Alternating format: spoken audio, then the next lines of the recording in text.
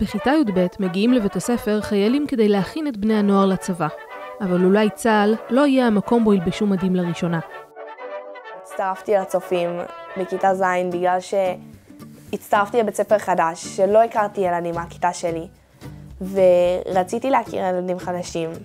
מלמדים אותנו הרבה ערכים, ערכים של חברות ושל רעות, של עבודה וקבוצה, שמירה על הטבע, איכות הסביבה. אנשים מצטרפים פה לאיזושהי קבוצה שמרגישים בשייכות, וזה בהחלט דרך מאוד מאוד יעילה לסחוף אנשים. אני מרגישה לחץ חברתי בתנועה, הוא קיים. נגיד בטיולים, אז קיים לחץ חברתי לצאת לטיול. כי כולם יוצאים לטיול, אז מה, אני לא אצא לטיול? לא, אין מצב. יכולה להגיד לך שגם בתור מדריכה אה, מצופה ממני, וגם אני עושה את זה בעצמי, אה, להפעיל לחץ על החניך שהיא כן יצא לטיול.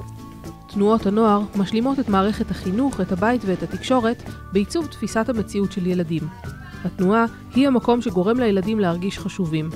ברבות מתנועות הנוער, האחידות החברתית והערכית מתבטאת בלבוש אחיד.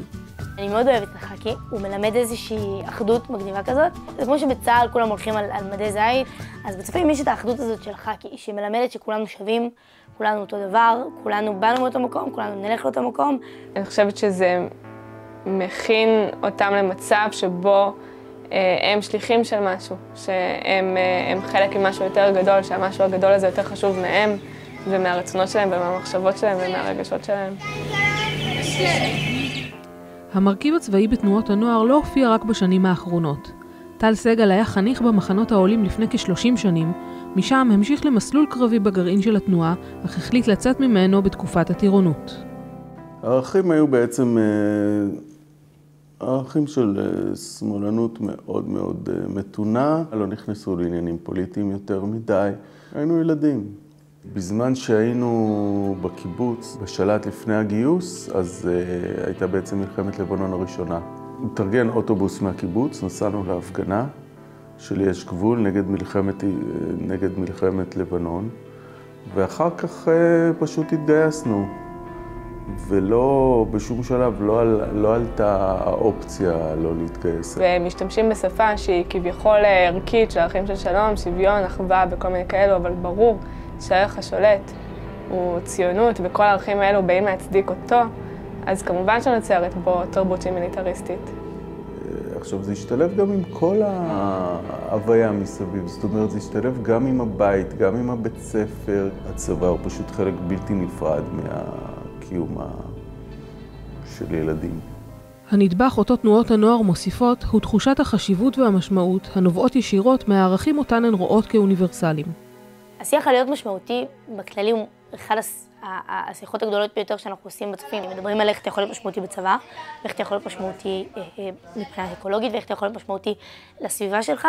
יש סיבה שהערך ששמים עליו דגש זה בוא ותהיו משמעותיים, כי זה גם באמת, בעיניי, מאוד מאוד מרגש ומאוד מאוד מדבר לכל בן אדם. אבל אז המשמעות הזאת ממשיכה גם לשירות הצבאי. ומה זה אומר להיות משמעותי בשירות צבאי?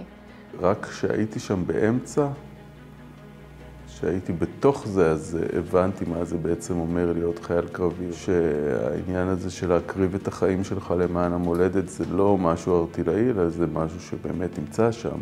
זה בהכרח אומר לבוא ופיזית להיות שם, אה, פיזית לעשות דברים שהם, שהם הרבה פעמים פשוט לא מוסריים, כי זו, זו המשמעות של, של שירות צבאי. ואת כל הדבר הזה שוט, שוטף אותו מסר של תהיו משמעותיים, אה, תבואו ותשפיעו על החברה ועל המדינה. זה לא מפריע לי שמדברים איתנו יותר על לאן להתגייס ולא מדברים איתנו על אם להתגייס, כי מבחינתי זה די מובן מאליו שאני אתגייס, אני לא חושבת בכלל על אפשרות לא להתגייס.